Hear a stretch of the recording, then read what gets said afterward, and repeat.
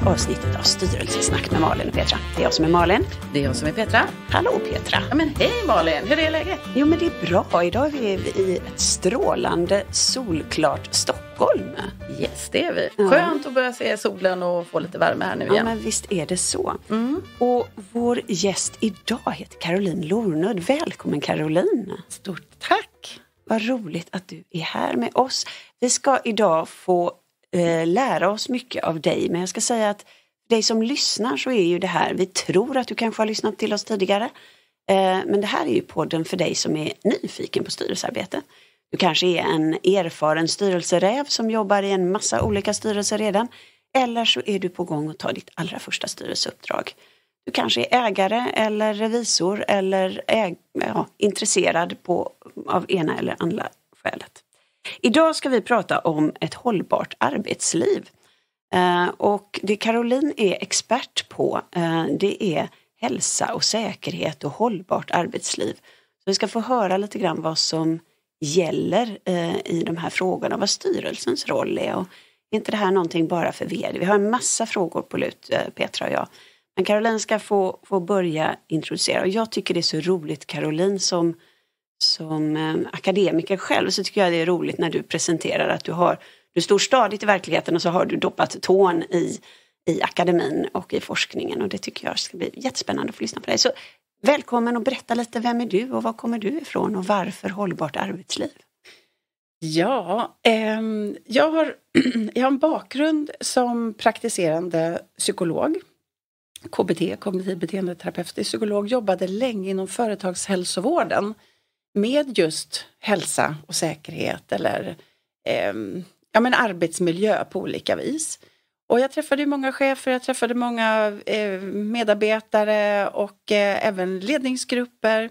Och det var där som jag blev väldigt nyfiken på ledarrollen när det gäller just att skapa ett eh, gott arbetsmiljöklimat om man säger. Eh, och både, både så insåg jag vilken viktig roll man har som ledare men också just förutsättningarna för ledare att utöva ett gott ledarskap. Det klappar mitt hjärta också väldigt starkt för. Och sen fick jag möjlighet att börja forska på ledarskap på Karolinska institutet. Eh, så att eh, numera doppar jag en tå men då var jag liksom dränkt höll jag på att säga. eh, i, i forskning. Så att jag befann mig inom akademin i eh, nästan tio år heltid. Eh, så jag disputerade 2015 och då handlade det om ledarskap och arbetsmiljö, mer operativt ledarskap. Eh, men samtidigt när man jobbar med de här frågorna och när man forskar på de här frågorna så ser man att det finns väldigt mycket eh, fokus på de operativa ledarna, första linjens, det kan vara mellanchefer men framförallt första linjens chefer. Eh, men det finns ju en ledningsgrupp som styr mycket och det börjar komma mer forskning kring vad ledningsgrupper kan göra för att eh, eh, ja, men, eh, skapa ett gott eh, arbetsklimat eller både då hälsosam och säker arbetsplats. Eh, men VD har ju också en kravställare över sig.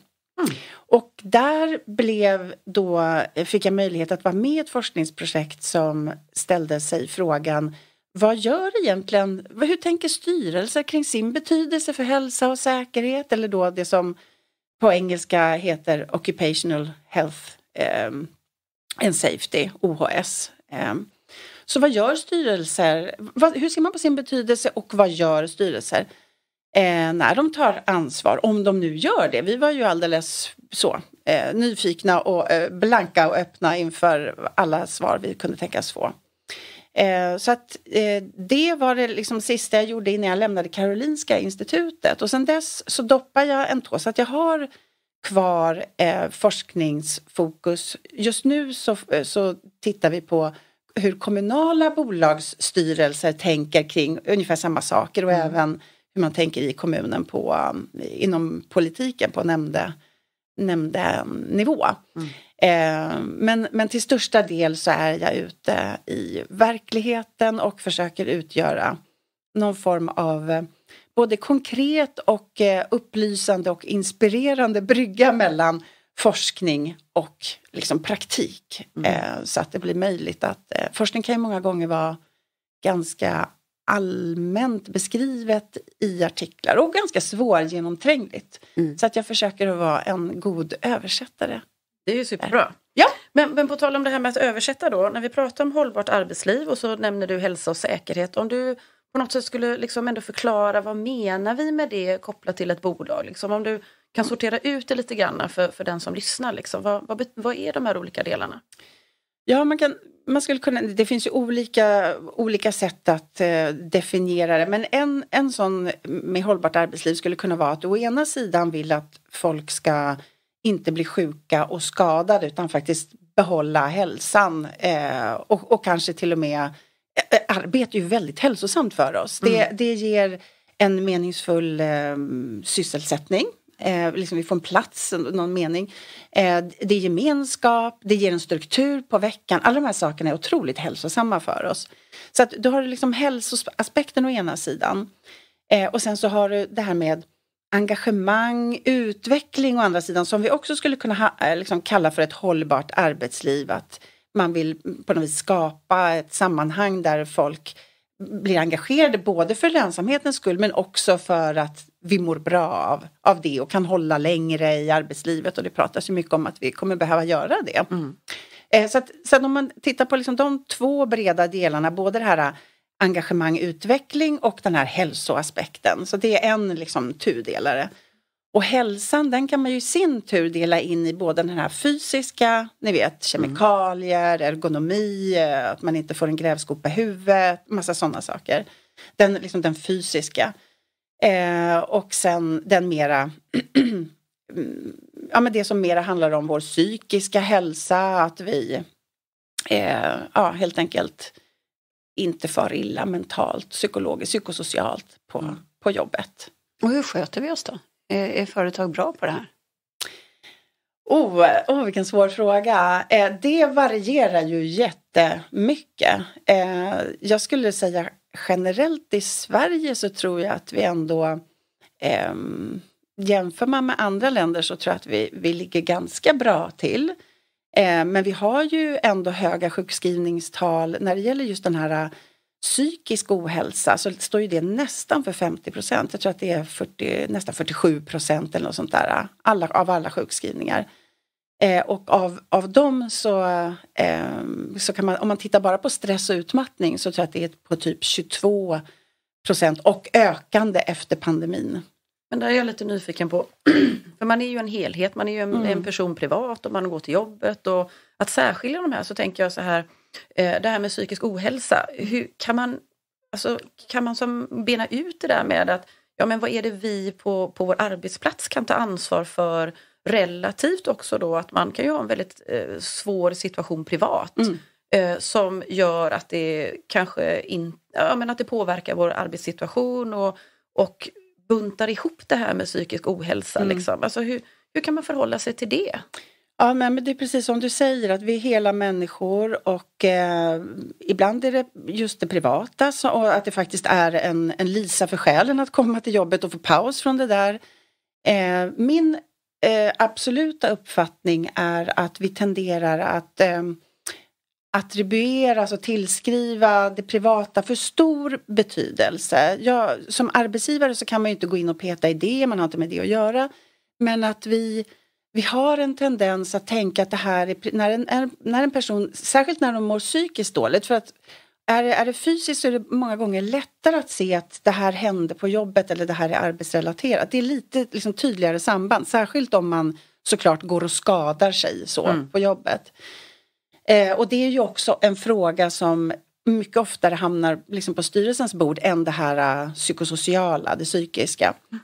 Eh, men eh, vad skulle jag komma till? Jo, att Um, I och med att det är svårt att se hur det här psykiska ohälsan, vad är det som egentligen förklaras av arbetsrelaterade orsaker så tenderar vi att tänka att det här är mera privat och det eh, jag tyckte var en väldigt intressant studie från eh, Västra Götalandsregionen för där kunde nämligen verksamhetschefer tillsammans med HR kunde äska pengar till att förbättra arbetsmiljön. Mm.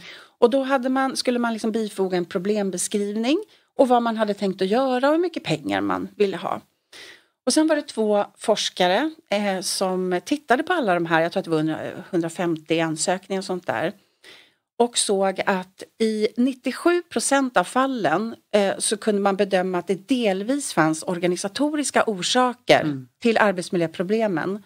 Men i 60 procent av fallen så hade man äskat pengar till antingen individåtgärder eller att man liksom gruppåtgärder bara till det här enskilda teamet. Mm.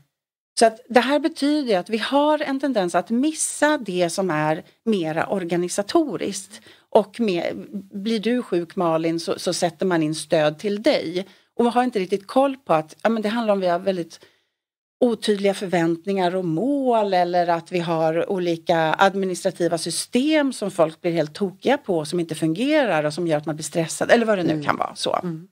Så att det, det, är svårt att bena ut vad är privat, vad är eh, arbetsrelaterat. Mm. Men, men eh, det finns ju jättemycket forskning om vad, vad behöver vi för förutsättningar och för sammanhang på arbetet för att må bra. Mm. Så att det finns ju jättemycket att göra baserat på, på det. Mm. Och du, eh, du sa också att det, det börjar bli lite sämre igen uh, efter pandemin. Vad är det som eh, vad är det man ser? Är det distansarbetet och vi ska tillbaka till jobbet eller är det allmän stress? Alltså vad är det? Jag tror inte att det är någon som, som vet mm. utan det finns eh, tankar om vad, vad det kan bero på. Dels har vi en orolig omvärld med, med krig och vi har höga elpriser och vi har stigande räntor och så vidare. Och sen, sen tror jag också det här med, ska man hur ska man jobba nu i det här hybrida och många arbetsgivare och arbetstagare tänker jag kämpar med att hitta en, en modell som funkar. Eh, så på något vis så eh, Ja, av någon anledning så gick liksom stressen ner lite grann, sjukskrivningar. Det kanske också var lättare att faktiskt upprätthålla ett arbete när man jobbade hemma, alltså att det blev mer mm. dolt då. Eh, men men eh, tittar man liksom historiskt så för tio år sedan så låg andelen sjukskrivningar på grund av stress eller utmattning på 10 procent och nu är den uppe på 22. Så att det, det är ju någonting som har hänt sedan 2012. Liksom. Ja, så, ja. du, om, om, om vi funderar lite grann på just styrelser och styrelsers roll. Eh, jag kan ju se i mina bolag att eh, dels att det varierar en del från en bransch till en annan. Eh, och då kanske det är mer de branscher där det är lättare att få en hammare i huvudet som, som har ett väldigt förebyggande arbetsmiljöarbete. Men så ser jag också att vi får som styrelse så får vi ju i samtliga bolag tror jag en, en genomgång av antalet eh, olyckor som har skett eller inte skett eh, sen senaste mötet. Ehm, men sen varierar det väldigt hur vi jobbar med de här frågorna. Har du någon best practice eller vad är din erfarenhet eller ditt råd? Eller hur ska man jobba med det här som styrelse? Oh, jag har jättemycket att säga om det. Eh, vi, vi gjorde ju som sagt var en studie på Karolinska institutet där vi rekryterade 17 bolag tror jag blev till slut inom fyra olika branscher. Så det var bygg, byggbranschen, det var tillverkningsbranschen, det var handel och det var vård och omsorg. Och eh, vår forskningsfråga var eh, vad gör styrelser när de tar ansvar för hälsa och säkerhet? För att man har ju det över, liksom, övergripande ansvaret. Och det var så intressant för att vi, eh, vi fick inte bara de som var bäst i klassen. Jag tror att vi fick några sådana, absolut. Mm. Eh, framförallt inom tillverkning och bygg och vård och omsorg skulle jag säga. Vård och omsorg där kanske är sådär naturligt på något vis att man sitter i en sån styr, alltså då bolagets eh, fokus kanske gjorde att man ändå hade lite mer den kompetensen i styrelsen också. Mm. Men annars så var det bygg och tillverkning där man just hade då säkerhet, den fysiska säkerheten högt på agendan och följde noga de här nyckeltalen. Um, men, det, men vi fick också faktiskt styrelser som, som tackade ja eh, för att eh, det här pratar vi inte så mycket om så det här blir ett intressant bidrag till forskningen. Så det var väldigt intressant att få den här variationen. Och då kunde vi ju se att styrelser, dels man har fysisk säkerhet i mycket större utsträckning på, på sitt bord. Eh, och eh, vi kunde också se att det finns jättemycket som man kan göra. Eh, och, och, det som var så intressant också det var att vi, vi var egentligen ute efter så här, vad gör styrelsen? Jag tror att vi identifierade 42 olika aktiviteter och beteenden som man kan göra inom olika liksom, områden. Hur kan man från styrelsenivå jobba på en eh, liksom, säkerhetskultur eller en öppenhetskultur så att man faktiskt, jag kommer ihåg en styrelseordförande som sa att, att en, en eh, organisation är ju liksom ett lager av filter eh, och eh, vi behöver hitta sätt att skära igenom det här filtret. Vi måste se till att få information om vad som händer eftersom det är sån informationsasymmetri.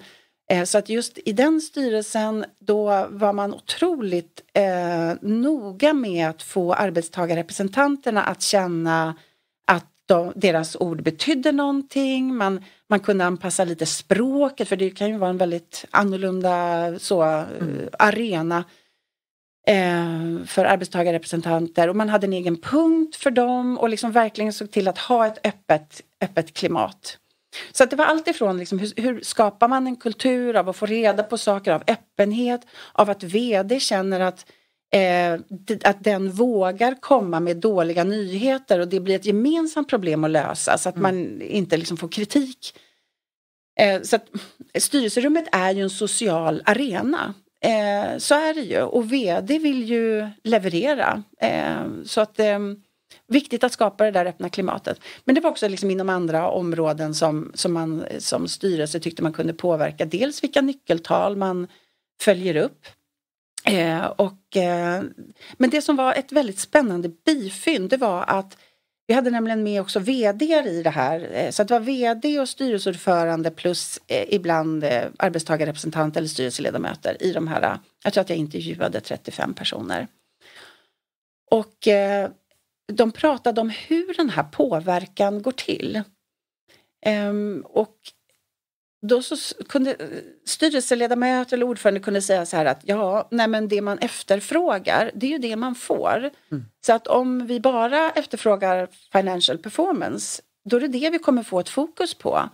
Eh, men efterfrågar vi både hållbart arbetsliv, alltså att vi, vi har en säker och hälsosam och det här med det ekonomiska, ja men då kommer vi få ett fokus på båda.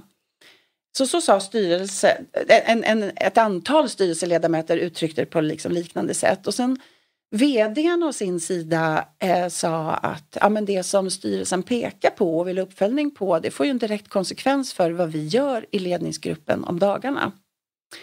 Och eh, sen fanns det också vd som inte fick så mycket styrsignaler kring det här eh, från sin styrelse. Jag minns bland annat ett byggbolag och då var den här vdn ganska upprörd. Det här är ändå liksom det är farliga grejer vi håller på med här men jag får inte mycket från min styrelse utan jag måste ta på mig ledartröjan själv i det här. Och, då, och jag gör ju det eh, såklart. Eh, men det blir ganska tungt för mig eh, att inte ha liksom, styrelsens stöd och eh, liksom, fokushjälp i det här. Utan, och, och, det blir ju också en fråga om att man ska ha rätt, verkligen rätt VD på det sättet också. Alltså det blir mm. en liksom, personlig, det blir beroende på om man själv är intresserad av det som VD. Så att där, där såg vi att det fanns ju, och vi, vi, liknade den här påverkan vid ett, ni vet ett, ett ehm, sånt här champagnetorn, när man ställer upp glas mm, mm. och häller champagne i det översta och så rinner det liksom neråt.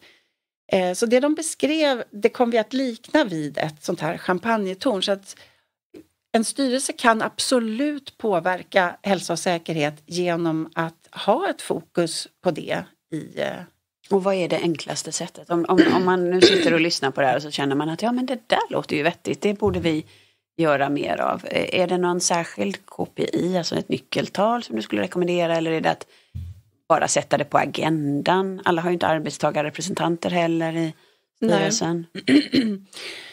Det finns olika sätt. Ehm, dels det här med kopior är ju viktigt. Eh, jag vet att i vissa sammanhang så är liksom kopior någonting som man sågar vid fotknölarna. Mm. Eh, och jag, jag tycker att det är... Ehm, eh, jag, jag, kan förstå att det blir, blir ett för ensidigt fokus på de här eh, finansiella kopiorna så är det klart att det kommer bli det fokuset mm. i organisationen också. Och det gör ju att folk inte alltid arbetar säkert och att man sitter och kämpar för länge och, och kanske blir sjukskriven och så vidare.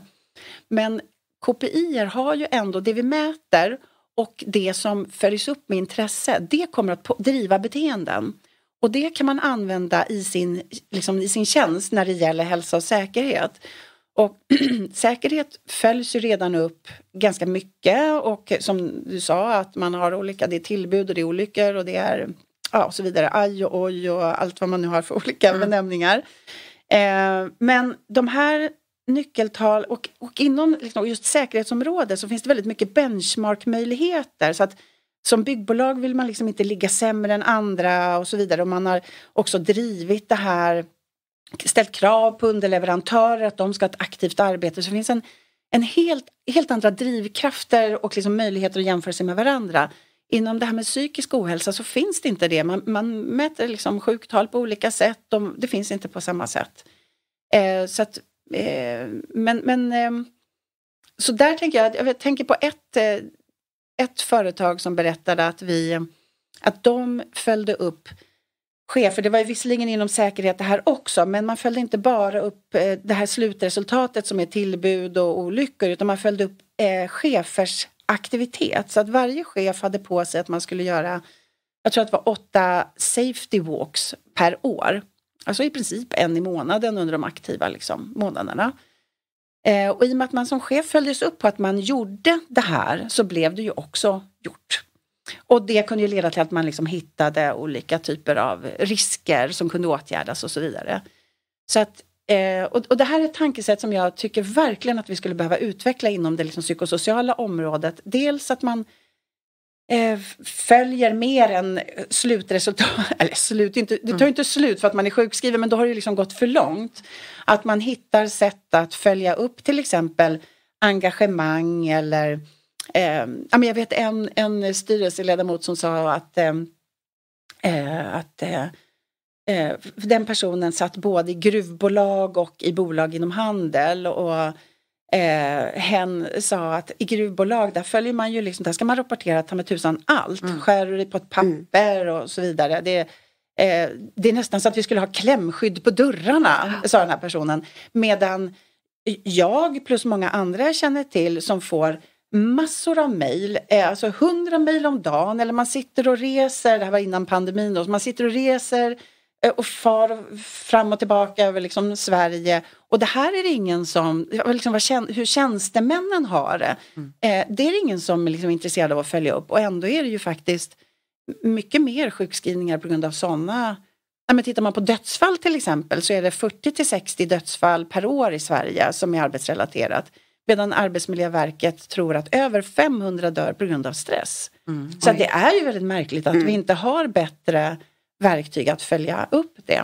Jag, jag sitter och, bara, eh, bara tänker på, på hur man ser det här. Om man ser det som att undvika en kostnad eller om man ser möjligen till vinst. Mm. Eh, man, som styrelse. För att, för att det känns lite grann som att ja, men det är klart att man inte vill att någon ska slå sig. Um, och man vill inte att någon ska bli sjukskriven. Uh, av flera skäl. Det, det, är klart att man inte vill det för någon. Men, men uh, har du tittat någonting på vad ett välfungerande företag tjänar man mer pengar om man, är, om man är liksom, hanterar de här frågorna rätt? Jag har inte tittat på det själv. Eh, jag vet att det finns studier som visar på det. Jag kan inte dra upp någon i rockskärmen just nu. Men jag, jag brukar, eh, när jag hittar en sån studie så brukar jag dela den på LinkedIn. Mm. Just för att liksom visa på det här lönsamma. Sen är det så att det blir inte lönsamt på ett kvartal.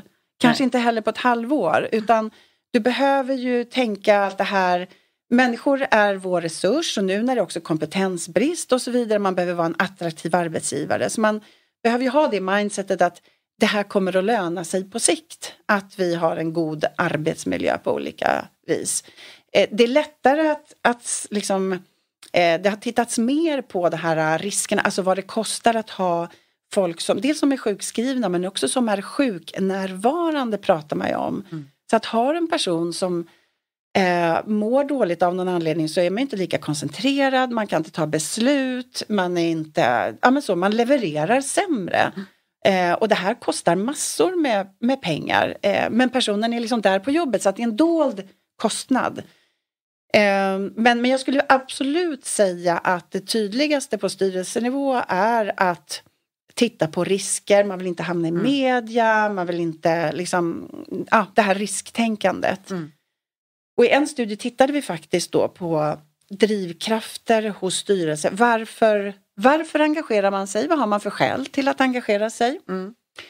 Och då ska man säga att det fanns fem olika sådana drivkrafter från mera ska man säga, rudimentär eller när man är liksom en laid back styrelse som inte är så framåt i de här frågorna så vill man ändå på något vis följa lagstiftning. Det var så. Så att när det kommer lagstiftning om hållbarhetsredovisning då, då gör man det. Eh, nästa eh, liksom, lager i det här det var om man också, eh, det fanns, ehm, eh, ja men när det blir såna här eh, händelser som olyckor och tillbud och så vidare, då hamnar det på styrelsens bord. Då behöver man hantera det på olika sätt och kanske bemöta media och så vidare. Sen nästa lager, det var att det fanns eh, liksom bransch, eh, eller till exempel det kunde vara samhällshändelser som metoo, då kom ju den frågan upp på ett antal styrelsers bord. Och det kunde vara styrelseordföranden som ringde till sin vd, du det här med metoo, vad har vi, hur ser det ut hos oss? Så att det var liksom samhällstryck eller fokus i samhället som gjorde att det här kom på styrelsens bord. Också. Absolut reaktivt fortfarande. Mm. Och det kunde också vara en bransch som till exempel byggbranschen där man ändå har liksom drivit fram krav på olika eh, underleverantörer, då blir det också någonting som man liksom, men fortfarande reaktivt. Men nästa lager, det var proaktivt och det var just affärsdrivande. Att man såg att det här är bra för våra affärer, det är bra för vårt eh, eh, varumärke, det här kommer att attrahera folk. Det kunde vara ett, ett, företag som kanske använde sig av säsongspersonal eller låg lite så här oländigt till ute i landet som förstod att här måste vi eh, liksom se till att vara en attraktiv arbetsgivare och då blir det liksom affärsdrivande. Och sen fanns det det sista lagret, det var faktiskt det moraliska lagret och det var en eh, styrelseordförande som nämnde det här utan att också nämna, och då blir det ekonomiskt bra för oss. Men, men den här styrelseordförande han sa så här att jag har aldrig sett ett eh, anställningskontrakt som ger oss rätt att förbruka den anställdes kropp. Det är helt oacceptabelt och därför måste vi göra allt vi kan från styrelsenivå för att eh, folk ska komma hem friska och hela till sina familjer. Mm. Jag, jag, tänker på så här, eh, när ni gjorde den här studien eller du har kommit i kontakt då med, liksom med styrelser och så här så har vi ju ett, ett lager till kan man säga då, det är ju ägare. Mm. Eh, ägare som, nu har ju vi, vi pratar ju ägardirektiv då mm. kan man säga eller att man har en uttryckt ägarvilja. Och det är klart att eh, jag stöter på ägare som är väldigt måna, alltså eh, där de gör ett ganska starkt uttryck i sitt ägardirektiv till oss i styrelsen. Ja. Då blir ju det ytterligare liksom en dimension och ram för styrelsen. Sen finns det ju de bolag och ägare där man kanske inte alls uttrycker det överhuvudtaget och där blir det ju på samma sätt som du beskriver vd som var ensam. Mm. Där kan ju också då styrelsen ja. få omsätta det liksom att givet ändå mm. att vi ska vara hållbara och ge ett bra resultat enligt ägarviljan så är det här en del av det. Men det. Eh, var det någon här i de här styrelserna som också refererade till att ägarna har en uttryckt vilja? Det var det faktiskt. Eh, jättespännande att, att du tar upp det. Ehm, det var, eh, det var i, inte så många bolag, nu hade vi bara 13 bolag, mm. Ehm, men det var stora bolag. Det var ju tror jag, minst 500 anställda varje bolag och vissa var liksom svenska dotterbolag och hade mm var multinationella och så vidare. Så det var ju stora och det var professionella styrelser. Men, men jag vet ett bolag, eh, kommer jag att tänka på nu, eh, där just ägarna var väldigt eh, måna om att, eh, att bara eh, ha, liksom, alla deras bolag där de var ägare hade en, den röda tråden var hållbarhet men det kunde vara inom olika områden och i det här fallet så handlade det om någon sjuk, inom det var vård och mm. Eh, omsorgsbiten. Och där fanns det ett väldigt tydligt ägardirektiv mm. att det här eh, vill vi. Och de satt ju också med i styrelsen. Mm. Eh, och där, där blir det ju såklart, det blir lättare för styrelsen då att hålla ett fokus på, på det här. Mm. Eh, i, I kontrast till ett annat bolag där man hade jätte, jättemånga, alltså alla ägde, det var små aktieägare. Eh, så att eh, han sa att vi brukar säga att vi har inga ägare. Eh, för det är Mm. liksom svårt för dem att samordna sig och tycka Mm. någonting sådär. Eh, och då behöver det i så fall komma från liksom, styrelsenivån. Men här funderar jag också på lite grann ibland eh, det här med om man tar små och medelstora bolag eh, där ägarna, grundarna är kvar.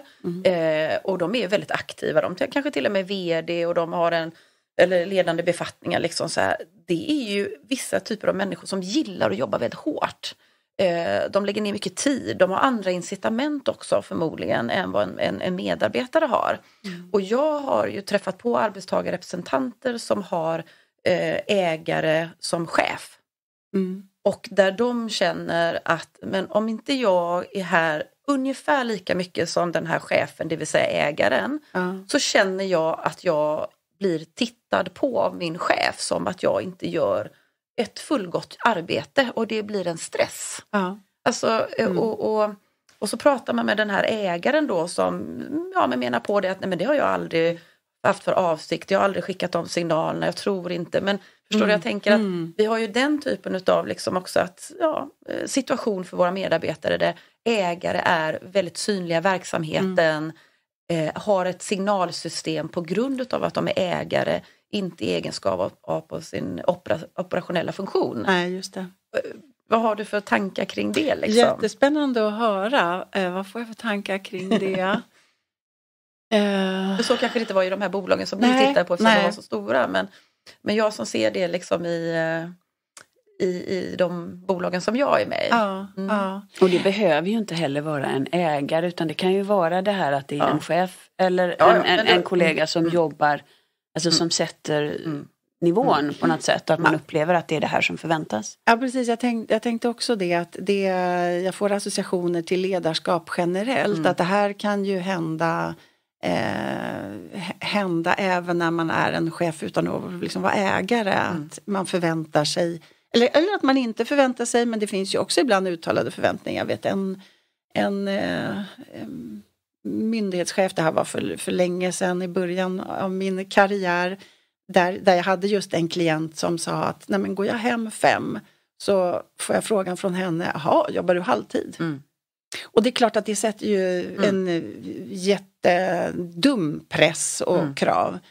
Eh, Så att det där är ju också någonting som inom när, man, mm, liksom ut, när jag utbildar chefer i hållbart arbetsliv, hälsa och säkerhet och så vidare, då är ju det en sån eh, viktig del att du är en förebild. Mm. Och det behöver du vara medveten om. Mm. Eh, och även om du säger så här, ni behöver inte svara på mejlen på kvällarna.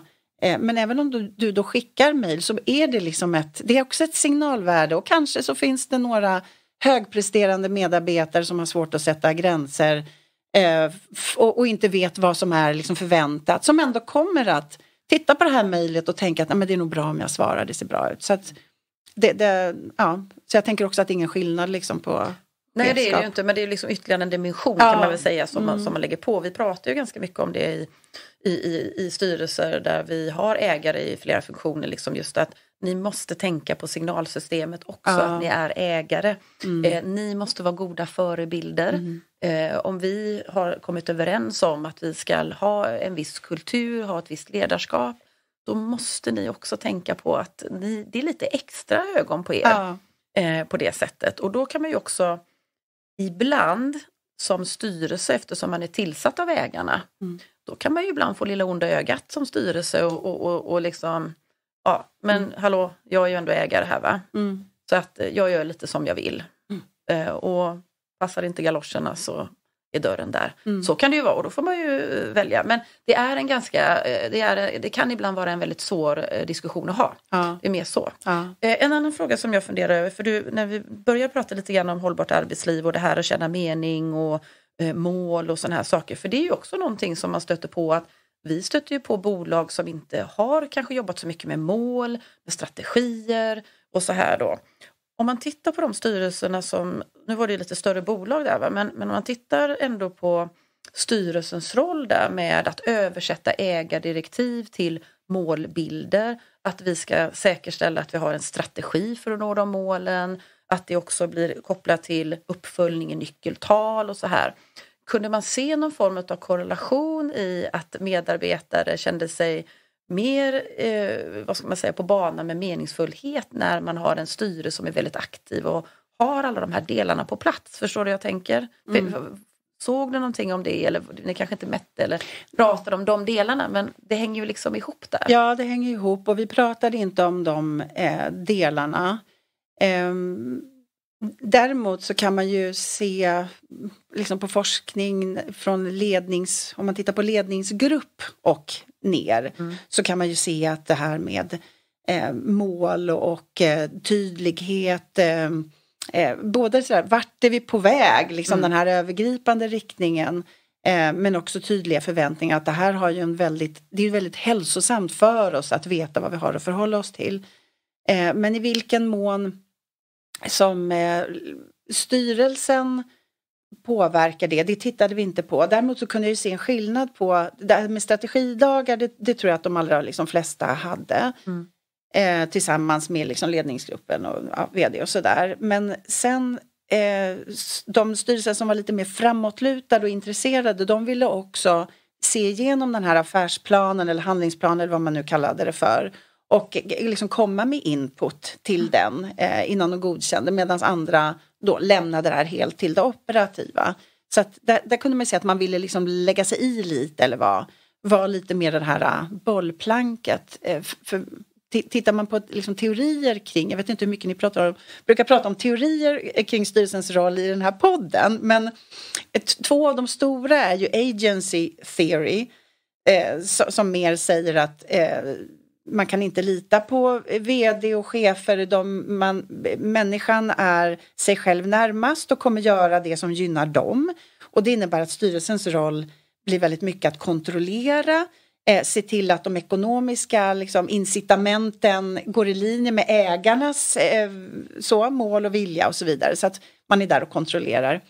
Eh, medan en stewardship theory mm. mera pratar om att ja, men människan vill väl och vill göra gott för organisationen och vi ska vara liksom ett kompetent bollplank och jobba tillsammans med eh, VD. Mm. Så det kunde, jag liksom, det kunde vi se lite skillnader, de mm. som mera tyckte att Nej, men vi, vi ägnar oss åt det ekonomiska, det där får VD göra och så liksom ratificerar vi policies en gång per år och kontrollerar sådär. Mm. Medan andra verkligen det var ganska ovanligt att ha någon i styrelsen som var kompetent inom det här området men vi hade framförallt ett par sådana i, i de, bland de här 13 bolagen Eh, och de var ju också väldigt duktiga. Då, då har ju de de glasögonen på sig. Mm.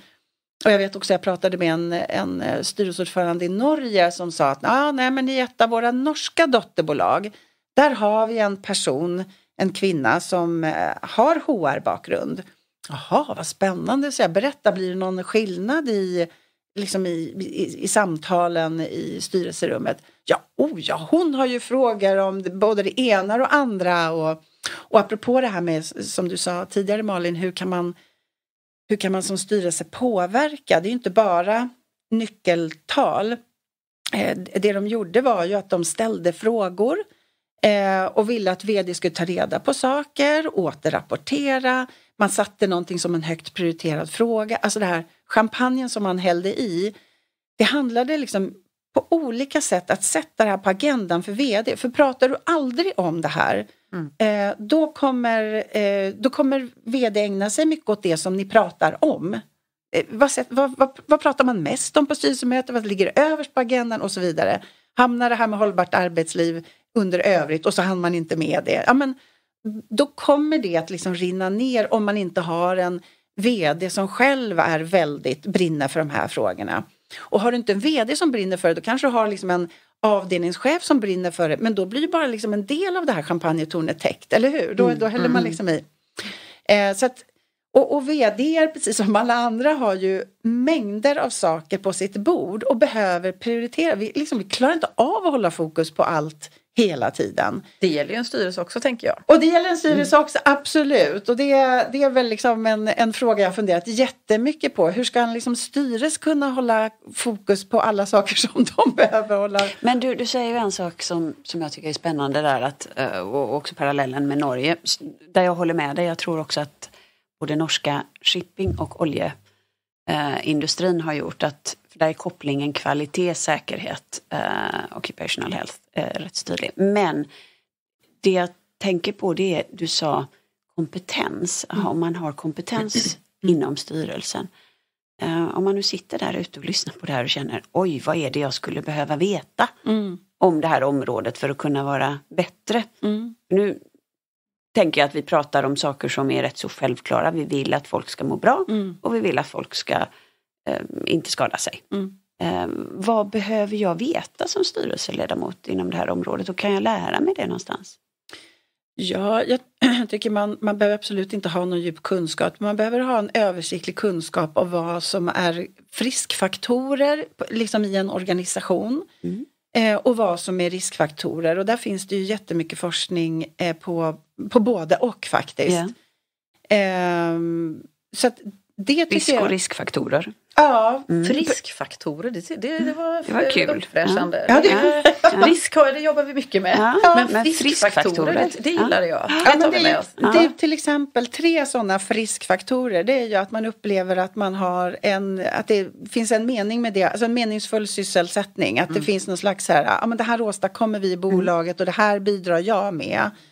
Eh, så att det, det är en. Och en annan är begriplighet, att förstå varför saker händer, att det finns någon slags struktur, att saker inte händer helt oförutsägbart. Att jag liksom begrip, alltså begripligheten, det är också, det tycker vi människor om att förstå, förstå mm. helt enkelt.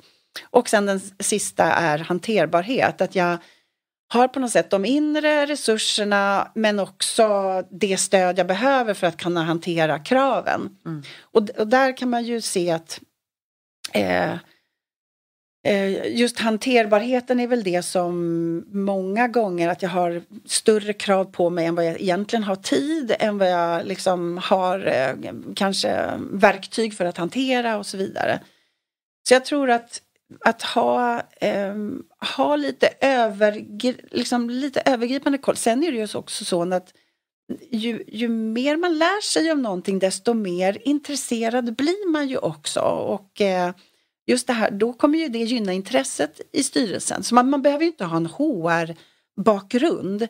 Eh, men att eh, läsa på lite grann om eh, vad är egentligen viktigt för människor. Både vad är det mm. som är riskfullt och vad är det som är friskfaktorer. Mm. Men där tänker jag ju liksom lite grann som tips man kan ha och det, du var inne på det lite grann. Det är ju liksom att en styrelse skulle ju ändå kunna liksom bjuda in HR till, ja. till att liksom berätta lite grann mer och som kanske har lite fördjupad kunskap i detta. Mm. Man kan ju bjuda in hur jobbar andra, alltså goda mm. exempel från andra företag eh, som, som gäster till exempel och ja. där man kanske både kan mötas med styrelse och ledning då så man hör mm. samma sak så att man kan ha en liksom kunskapshöjande insats. Och, och, och, inte minst medarbetarundersökningar, att se till att vi har rätt frågor där. Tänker ja, jag också. och det vill jag komma till. Hur tänker du kring medarbetarundersökningar och de här pulsmätningar som vi håller på med. Liksom så här. För det finns ju också väldigt mycket tankar kring mm. det. Mm. Eh, det finns nästan inget bolag idag, uppfattar jag, som, som jag i alla fall stött på, som inte jobbar med det Nej. på ett eller annat sätt. Mm. Eh, vad har du för tankar kring det och är det, är det bra?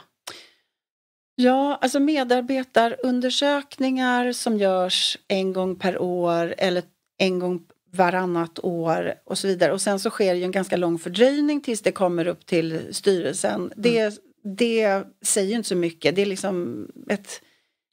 Där kan man ju inte vara agil och eh, liksom anpassa sig utan det blir det är väldigt lagg liksom mm. på den, eh, de måtten. Så att det är jag mer tveksam till. Det är möjligt att man ibland vill ha liksom en övergri... Alltså ett mera eh, gediget frågebatteri och kolla av många områden. För det kan man, det kan man inte göra i pulsmätning. Jag kan ju inte ha mm. liksom 50 frågor en gång i månaden eller varannan månad. Mm. Eh, pulsmätningar tycker jag är mycket bättre för att du kan agera mer snabbt och där vet jag att ett bolag där hade man då pulsmätningar för sin personal och sen ingick det att hamnar du mm, ja men ni vet på orange eller rött och så vidare. Då ingick det ett, ett samtal med chefen och huruvida det hade skett följdes också upp. Mm. Så, där man väl liksom, så man kan inte bara be folk att svara och sen så händer ingenting. Utan, så, så att man kan arbeta så. Andra bolag jobbar ju mer med de här äh, kvartssamtal eller, eller prat finns det vissa som kallar det. Men att man har de här ändå regelbundna avstämningar mm, och då behöver ju cheferna naturligtvis ha ett rimligt eh, kontrollspann som man pratar om, alltså rimligt antal medarbetare under mm. sig. Har du 40 så är det svårt att hinna ha de här äh, mötena, korta mötena. De kan ju bara vara 10 minuter, en kvart men ändå ska du ha 10 eh, minuter med 40 personer en gång i månaden, det tar mycket tid. Mm. Eh, så att, att hitta något sätt, antingen att ha de här typen av samtal och, och att det, så gör vi i det här bolaget. Jag tror inte på att liksom lämna det här upp till varje chef riktigt. Nej, det måste finnas ett system. Det måste liksom. finnas en mm. struktur för det. Eh, men pulsmätningar tycker jag är, kan vara en bra sak. Men jag tänker att vi skulle kunna bli lite bättre på att mäta mer av det som vi vill ha mer av. Mm. Säg till exempel psykologisk trygghet som det pratas väldigt mycket om som handlar om att ha högt i tak på riktigt. Så att folk vågar vara människor och inte visa upp liksom en perfekt yta. Inte minst i en styrelse skulle man ju behöva mycket av det för att kunna få upp olika perspektiv och belysa frågor från olika håll och så vidare. För det blir ju lite svårigheten här tänker jag också om man Jag gillar pulsmätningar men mm. det, jag har väldigt svårt att se Jag har inte fått så många sådana resultat upp i en styrelse. Nej. Att Nej. så här sa man och ännu mindre om det är en och en prat med chefen för då är ju risken ja. att det silas rätt så mycket att allting mm. var rätt så bra. Mm. Liksom lite mellanmjölk över det hela. Mm. Uh, så. Nej men det man skulle kunna göra med en, en pulsenkät det är ju att man eh, väljer ut ett specifikt område som du ändå följer. För att det, det du väljer att följa, det beror lite på liksom vad man har för risker och riskfaktorer i just den verksamheten. Eh, för det kan ju vara så att ja, men här har vi en, en fullständigt förödande mejlkultur. Det CCs hit och dit och folk får liksom eh, mejl 100 mejl per dag eller 50 mejl eller vad det är. Så att det här är våran risk. Så okej, okay, hur vill vi jobba med det? Eller det kan vara möten utan agenda. Vi sitter i möten hela dagarna och så vidare. Eh, så då skulle man kunna välja ut någon, något sånt mått som man väljer att följa ett tag. Eh, och då kommer det att läggas mer fokus på det. Det är så intressant med, med om, om vi tar utanför det här med eh, occupational health and safety så eh, lutade vi oss i, i studien också. Anledningen till att vi liksom undersökte hur det ser ut inom det här området var ju för att tidigare studier har visat till exempel inom hälso och sjukvård att Sätter du till exempel eh, vårdkvalitet som prioritet i styrelsen då kommer cheferna att ägna, sig, ägna mer tid om dagarna åt att jobba för vårdkvalitet. Och det här leder faktiskt till att du har, vad heter det på svenska, morbidity rates. Alltså det blir färre dödsfall, dödlighet mm. liksom på det sjukhuset. Mm. Så att det har, ju, eh, det har ju en påverkan vad du sätter fokus på i styrelsen till, till faktiskt sån output. det är lite skönt för oss att känna mm. att det faktiskt ja, påverkar. Nej, men jag, på tal om det här med pulsvärde. Vi har eh, inte kanske de minsta bolagen, eh, inte alla, men i några av mina bolag där får vi ju, där har vi bett om eh, vissa återkommande delar från våra pulsmätningar som är viktigt mm. jämförelsevis vår strategi då. Just det. Eh, bara, och sen också det jämförelse hur liksom det har varit över så att vi kan också se en, en trend eh, jämförelsevis hur, hur det har sett ut innan så att det inte bara är en, en, en, en mm. nulägessiffra uh, utan även liksom en, en ja. historik kopplad till den också då så man vet är det en positiv trend eller en negativ det. trend. Så man också kan ha det och vi vill ju jättegärna då att vd kommenterar det i sin vd-rapport. Ja, just det. Uh, så, så att det har, mm. Men vad spännande. Ja. Kan du inte berätta, kan du ge exempel på någonting? Alltså, det är intressant att koppla det just till strategin också tänker ja, jag. Autonomitet det har, ju, har vi liksom eh, följt i ett bolag för vi vill ju liksom väldigt gärna ha en, att man upplever en hög autonomitet mm. eh, eh som ett, ett av nyckeltalen där eller ett utav Och är det att man liksom självbestämmande, ja, att du kan handlingsfrihet? Ja, precis. Att mm. jag känner liksom att jag har jag, jag, kan bestämma väldigt mycket själv. Jag mm. har förfogande liksom över att ta egna beslut och, och, och, så här då. Så det, jag tänker ju, nu är inte jag en del av medarbetarna och ser hur mätningen går till. Men jag uppfattar ju ändå att man förklarar då vad är det vi menar med autonom autonomitet här Mm. så att man vet också vad det är man svarar på. Just det. Eh, så, det är ju ett, ett område. Eh, och sen så eh, ett av de andra områdena det handlar ju liksom naturligtvis relationen med sin chef. Mm. Alltså liksom, vad har jag för, alltså den här psykosociala tryggheten, några av de underliggande nyckeltalen Mm. tittar vi också på. För där har vi ju sagt att det här med trygg kultur kallar ju vi det för i det bolaget. Mm. Då. Eh, det är viktigt för oss. Och hur bryter vi ner det? Vad, vad innebär det liksom för oss? Och hur kan vi då koppla till det vi mäter och följer upp både i pulsmätning men också i enskilda samtal. Mm. Eh, hur kan vi se att vi faktiskt eh, utvecklar åt rätt håll? Att våran ambition rör på sig i positiv riktning. Just det. Eh, Och då gör ju ni något antagande att det här med autonomitet ja. som ni, Ja. att det på något vis är eh, är lönsamt Ja. och, och driva, Ja. det, det driver mot den här strategin så att säga. Ja, Mm. ja men absolut. Att vi ska liksom kunna, eh, kunna ha medarbetare som tar egna beslut Mm. i stunden därför att yrket eller jobbet eller våran affär ser ut på det sättet. Därför är det viktigt. Ja. Och vi har en väldigt platt organisation vilket innebär att vi, vi har inte så många chefer. Mm. Och, och då måste man ju känna också att man har möjligheten i, i där man befinner sig att göra det man behöver. Mm. Både förmågan och tryggheten. Ja, ja.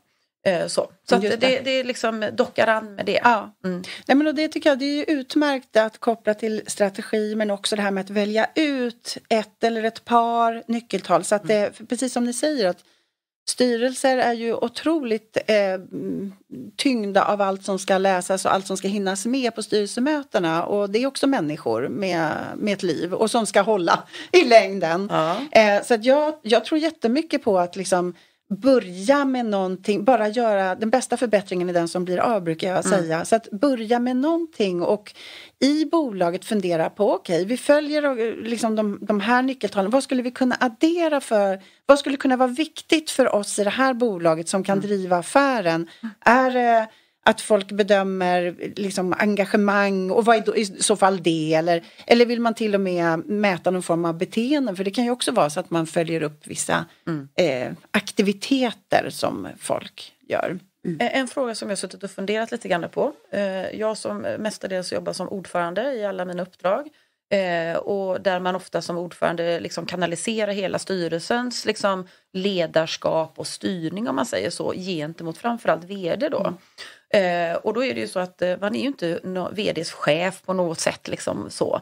Men eh, en VD som är högpresterande, eh, som vill väldigt mycket, som man ser skickar de här mejlen på söndagar, på svara på sms eh, i tid och otid och själv skickar kanske, ja ni fattar vad jag menar.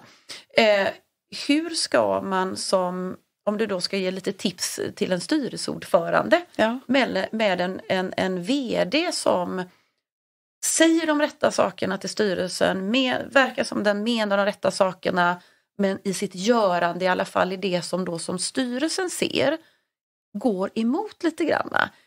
Och även kanske man känner liksom att här är det en VD som faktiskt, frågan är om inte den här snart går in i väggen. Mm.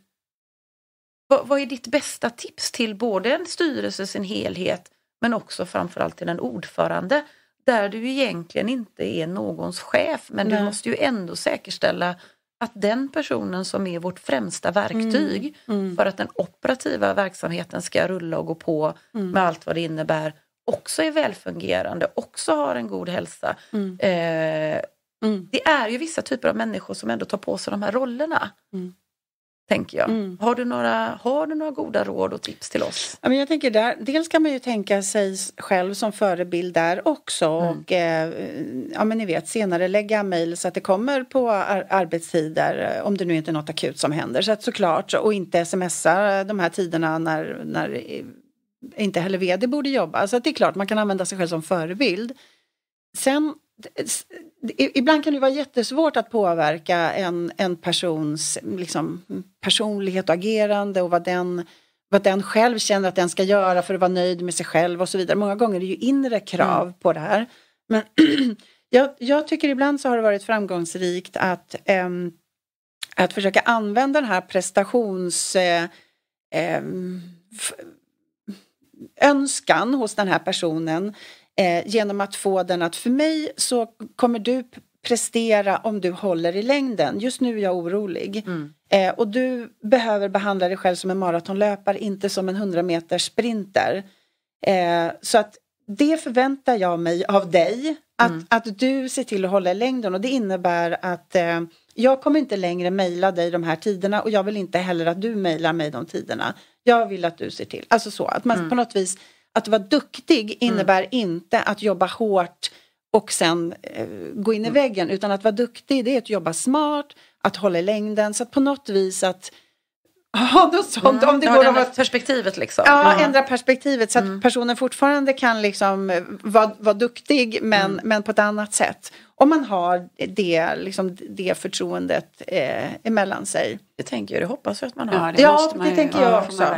Och där Ja. tänker jag också om man, om man skulle drista sig lite längre och vi pratar lite grann om utvärderingar också som styrelsen både gör internt i styrelsen och, och gentemot vd eller med vd. Eh, där kan man ju faktiskt också i, i, i, liksom i de områdena som man pratar om prata om hållbarheten för vd, Ja. jobba smart, eh, jobba Ja. rätt och alla de här delarna. Mm. Alltså det vill säga förhålla sig till den frågan i utvärderingssammanhanget Mm. också tänker jag. Precis, och det blir en väldigt hög trovärdighet i det om man på något vis som styrelse vill signalera till resten av organisationen att här tycker vi att det är viktigt med hållbart arbetsliv. Mm. Eh, Så behöver man ju leva det gentemot vdn. Eh, Och gör man det väldigt tydligt gentemot vdn, både i vad man följer upp men också i hur man är i liksom relationen och i sin samarbetsrelation så kommer ju det också att kunna liksom sprida sig neråt. Mm. Eh, så att vd kan agera liknande mot, mot sin eh, ledningsgrupp och så vidare. Mm. Du, jag tänker en, en fråga som har engagerat styrelser och vd och ledningar och bolag de senaste åren det är ju eh, pandemi, hemarbete, distansarbete, hur ska vi göra nu? Ur ett eh, hälsa, eh, hållbart arbetsliv, vad, vad är din rekommendation? Ska vi, alltså många styrelser har ju sagt nej nu får vi faktiskt gå tillbaka till arbetsplatsen, Mm. för det är där Mm. vi presterar bäst. Mm. Är, det, är det rätt? Eh, jag skulle säga så här att du har ehm, att, att jobba på arbetsplatsen eller hemma eller på ett café eller vad det nu är. Det är ju medel för att åstadkomma någonting. Så att jag tycker inte att det ska vara en princip i sig vad man ska jobba. Utan det man, om man tänker sig att det finns liksom tre mål minst, men tre kom jag på just nu och det är ju liksom verksamheten. Eh, så, vad, vad, vad tillå- hur, hur, hur når vi verksamhetens mål? Eh, och även liksom företagslojalitet skulle man ju liksom kunna tillföra så, verksamheten. Sen har vi en individ eh, som ska få ihop sitt liv och må bra och ha behov och aut- både autonomi men också tillhörighet. Men där är vi ju olika. Vissa skulle vilja jobba hemma 100% och känner att de behöver inte tillhöra mer än så. Det går bra att vi möts på Teams. Medan andra gärna vill ta sig in till kontoret och det kan handla om att man inte har hellre möjlighet hemma och det, man har ett utrymme och så vidare. Men så att vi har ju liksom verksamhetens behov, vi har individens behov, men sen har vi också gruppens behov, hur en grupp ska vara effektiv eh, och liksom samhörigheten och så vidare. Och hur, man liksom ska, hur de här tre ska mötas, det kan nog vara väldigt olika beroende på bransch. Men jag, men jag tror att en, eh, jag har mött många chefer som eh, brottas med att eh, Eh, medarbetare kanske inte kommer in så mycket som det är sagt att man ska komma in och att man hittar olika skäl till att eh, sådär att man, man får liksom inte ihop gänget riktigt. Eh, och som liksom famlar lite efter argument. Att, eh, hur kan jag... Ja, man, kanske inte, man kanske är lite för ängslig och, och inte riktigt vågar hålla det här som ändå är sagt. Och gör undantag och så vidare. Eh, och då, då tänker jag att eh, som individ så kom, är man ju liksom gärna sig själv närmast. Är det så att jag bokat in en hantverkare på onsdag och det är fysiskt möte så, så kanske jag väljer att vara hemma på den här onsdagen för att det passar det, det fun- för att funka för mig den onsdagen. Sen att det här påverkar gruppen negativt och det kanske inte ens det kanske inte gör jätteskillnad om jag är där just det mötet. Men om det här upprepas så kan ju liksom i längden både känslan av samhörighet till grupp, till det team jag tillhör men också till det företag jag tillhör kan ju liksom lite grann naggas i kanten och eroderas. Men det här Jag tror att vi, alltså om man tittar på inlärningspsykologi och varför vi gör som vi gör så har vi mycket svårare att agera idag eh, för en, en konsekvens som kommer långt senare som är liksom lite otydlig.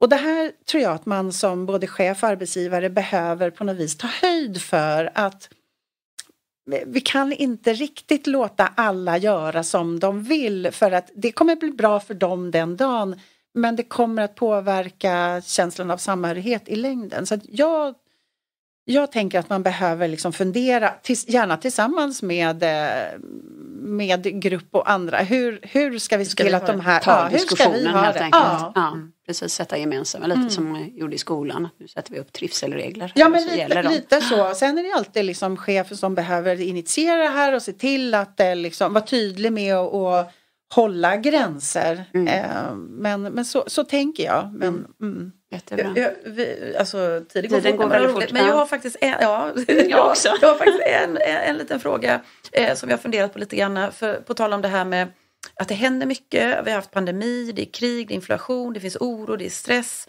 Massa sådana här saker.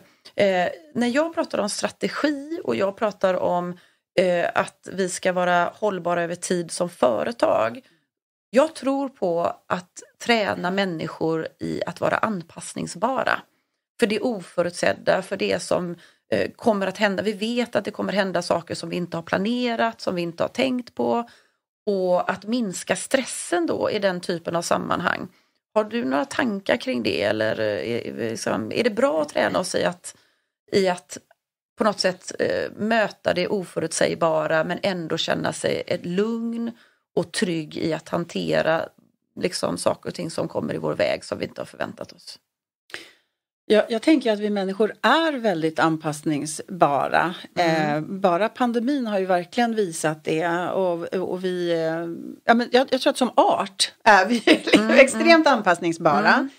Eh, sen tror jag att den här bilden av att vi inte gillar förändringar, eh, den tror jag delvis kommer av att vi gillar inte att, föränd- att andra bestämmer åt oss att vi ska förändras. Nej. Nej. Eh, så att jag, jag, och jag tror också, man pratar mycket nu för tiden om det här med kollektiv intelligens, att vi Tidigare så, så var det kanske chefen som kunde och visste men nu är liksom informationen så himla tillgänglig. Vi jobbar i tvär, eh, liksom grupper, det är allt mer komplext arbetsliv och så vidare. Så att vi behöver många perspektiv. Ju komplexare mm. frågor vi ska mm. hantera desto fler perspektiv behöver vi. Och jag tror att eh, kan man hitta sätt att involvera representanter, såklart inte alla medarbetare, men involvera representanter från olika kategorier. Såklart om det bara händer något plötsligt så är ju det svårt om man behöver liksom krishantera och krisledning och så. Men när det gäller förändring generellt så tror jag att det blir vi kommer förhålla oss till det på ett helt annat sätt om vi är medbjudna i liksom behovsanalysen. Mm. Eh, och, och, och, val av åtgärd om man säger, att det inte kommer liksom top down. Mm. Så jag vet inte om det var ett svar på din fråga men Sen finns det ett annat sånt här otroligt bra verktyg som möjligtvis skulle kunna ändå eh, skapa en känsla av att saker förändras och vi kan hantera det och det är ju det här verktyget After Action Review mm. som jag inte vet om ni har hört talas om men det, det, är ett, det har ett otroligt starkt stöd i forskningen. Grupper som arbetar med After Action Review eh, blir eh, ska vi säga, mellan 25 och 30 procent, och det här visar alltså metaanalyser där mm. man har tittat på många studier, mellan 25 och 30 procent mer effektiva än om man, för då gör man ju liksom inte samma fel om och om igen utan det man gör det är det som också kallas för debriefs mm. eller mm. I, i, i, vissa sådana Retrospekter. Ja, exakt. Mm. Ja. Eh, så det är fyra frågor. Det är, liksom, man behöver ha satt ett mål eh, så att man kan utvärdera det. Eh, och, och då är liksom första frågan är, okej, okay, vad, vad hade vi för mål? Andra frågan är, hur gick det i verkligheten? Nådde vi det eller inte? Tredje frågan är, vad gjorde vi bra och på vilket sätt var det bra? Och fjärde frågan är, vad kan vi förbättra framåt? Mm. Och det här, jag har alltid tänkt så här, om jag skulle vara VD för ett bolag, då skulle jag ha det som nyckeltal. Att grupper gör after action review på mm. om det är projekt eller liksom Ja, men bara en sån enkel sak som hur ska vi få mer effektiva möten? Mm. Ja, men det här är målet. okej nu utvärderar vi, om en månad utvärderar vi. Mm. Vad kan vi skruva på? Så att, att liksom bygga in den typen av att hela tiden eh, fundera på vad man gör, hur man kan göra det på ett annat sätt, mer effektfullt sätt, ett smartare sätt. Det skulle kunna vara liksom en liten omväg till att vara beredd på att vi hela tiden ändrar lite Mm. grann på saker. Och där tänker jag, det är ju ett tips som vi har pratat om tidigare, att styrelsen alltid kan göra efter ett styrelsemöte till exempel. Mm. Eh, och som är tips att kanske ledningsgruppen också jobbar med. Eh, så. Att ständigt förbättra sig. Att ständigt Ja. förbättra sig. Ja. Härligt. Tiden Ja. springer iväg så jag Det tror det. att vi måste avrunda Ja, här. jag tänker det. Får jag ändå säga en sak till? Ja, absolut. Kort, apropå det här med råd och hur kan man göra? Vi efter det här forskningsprojektet, hur kan styrelsen göra för att eh, eh, skapa ett hållbart arbetsliv? Så skapade vi en idésamling som vi tog fram. Då tog vi liksom russinen ur kakan ur vår forskning med hjälp av verksamt eh, praktiserande styrelseledamöter, erfarna styrelseledamöter. Vad är, liksom, vad är relevant för många och, och så vidare. Så att det finns, om man googlar på idésamling och styrelser, eventuellt mitt efternamn också. Jag brukar googla på idésamling Lånudde, då kommer man till den här. Och den är liksom, den går snabbt att läsa, att ni styrelseordföranden eh, och ledamöter som sitter där ute har massor material. Den går snabbt att läsa och där finns det ett antal råd hur man kan tänka. Superbra och det var ju egentligen det vi hade tänkt säga i slutet också. Att det går ju jättebra att hitta dig. Eh, då att googla Caroline Lonard så hittar man det du har forskat kring också. Eh, Och följa dig på LinkedIn tänker jag också. Ja. För du skriver ju eh, från tid till annan lite tankar och idéer och Ja. delar med dig av forskning och både din egen och andras och, och så här liksom. Och där hittar man ju också på din, eh, på din LinkedIn-sida så har du ju en länk till den här idésamlingen Ja, tänker jag. det har jag. Mm. Yes. Men tusen tack Caroline för att du delar med dig och vi kan väl konstatera också Petra att det här är ju, alltså hela hållbarhetsområdet kommer ju, det är viktigt, det har alltid varit viktigt. Det kommer också bli mer och mer reglerat framöver. Yes. Så att, och det tycker jag känns bra att det här är inte fritt valt arbete. Och du har också sagt och bekräftat Caroline att, att ett hållbart arbetsliv är ett sätt att, att nå högre lönsamhet. Det finns forskning kring det. Du har, pratat, du har givit oss lite champagne och du har givit oss friskfaktorer. Jag tycker det var en fantastisk eh, Ja. diskussion. Så tack snälla Caroline och tack till dig Petra. Ja, tack Malin. Tack för att jag fick komma. Och tack till er som har lyssnat som alltid vi hörs. Hej då. Hej då. Mm.